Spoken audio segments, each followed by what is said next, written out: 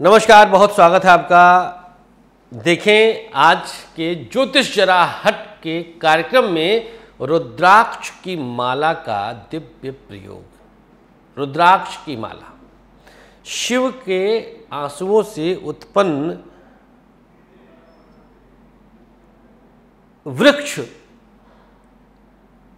शिव तुल्य वृक्ष, शिव स्वरूप वृक्ष, रुद्राक्ष अलग अलग मुखी रुद्राक्षों की अलग अलग वृत्तांत हैं, कहानियाँ हैं, मैं उस पर नहीं जाऊँगा। मैं मूल तत्व पर जाऊँगा।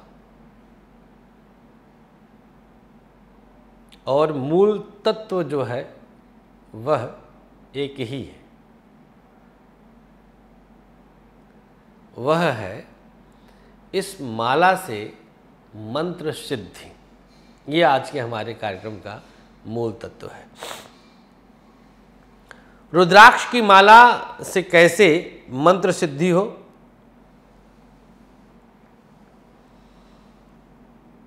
वो दिव्य मंत्र क्या होगा जो रुद्राक्ष की माला को प्राप्त करके सिद्धि की तरफ़ बढ़ जाएगा? इस मंत्र की विशेषता क्या है? इस मंत्र से विशेष लाभ क्या मिलेगा? एक अच्छे, एक दिव्य तिथि पर इस मंत्र का जाप करना है। मित्रों, वह तिथि है अमावस्या की तिथि। अमावस्या की रात 11 बजे के बाद एक विशेष मंत्र मैं बोलूँगा। उस मंत्र को रुद्राक्ष की माला छुपाकर अपनी गोद में लेकर के जपना होगा, ऐसे।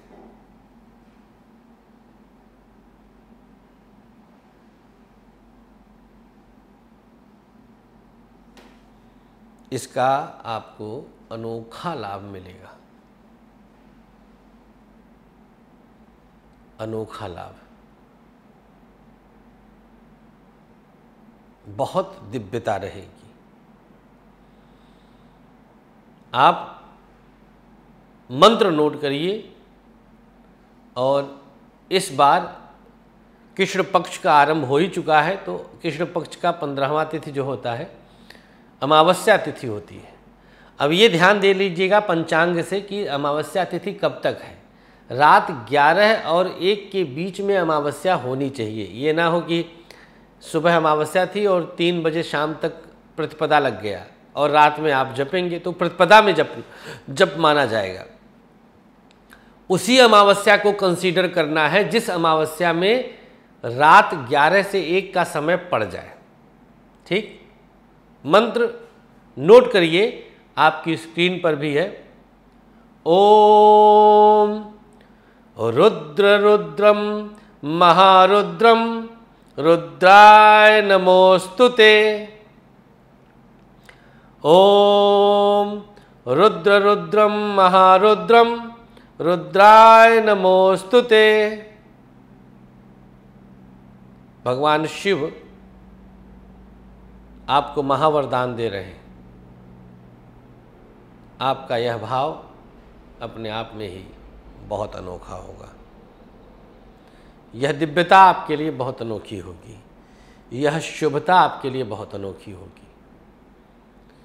इस मंत्र को आपको रात 11 के बाद ज़मीन पर बैठकर एक आसन लगाकर शिव का ध्यान करना है बस।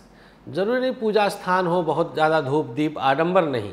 ज़मीन पे बैठना है, आसन लगाना है, रुद्राक्ष की माला लेनी है और इस मंत्र का जाप करना। उस माला को आप पहनना चाहें तो पहने, ना पहनना चाहें तो ना पहने, रख दीजिए फिर।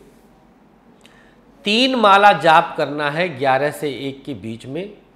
ओम रुद्र रुद्रम महारुद्रम रुद्राय नमोस्तुते। ये मंत्र है, स्क्रीन पे भी देख लीजिए। इसका तीन माला जाप करना, तीन सौ चौबीस बार। आवाज़ न निकले सास्वर नहीं।